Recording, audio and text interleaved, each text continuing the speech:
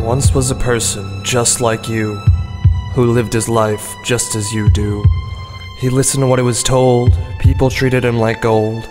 Of course, he had his flaws. He drank and got drunk because he found it fun, yet he never did harm anyone. Through this, he found an escape from the voices that told him what to do and what to be, how he should live his life happily. Eventually, he grew tired of the voices in his head and sought to put them to rest. To do so, he drank and drank till he fell, but still he awoke trapped in a prison, a cell, an unforgiving hell. Would it be best if he were dead?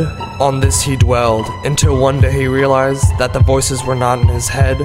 They were those around him. They should be dead. And with this clarity he found, his fake smile was shed. Some say darkness entered his heart, but this was simply how he stopped himself from falling apart. So he grabbed his knife and he made it sharp. Sharp. Then, in search of silence, stabbed those he knew in the heart. Now they're dead, but still no silence in his head. So now he's coming for me.